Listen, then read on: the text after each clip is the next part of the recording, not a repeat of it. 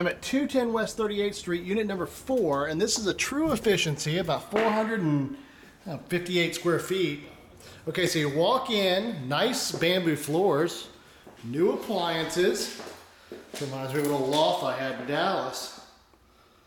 Okay, it's clean. Ceiling fan.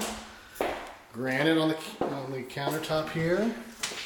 Nice closet. Wow, that closet's huge. And then a full bath. A little ter- travertine on the floors. It's cute.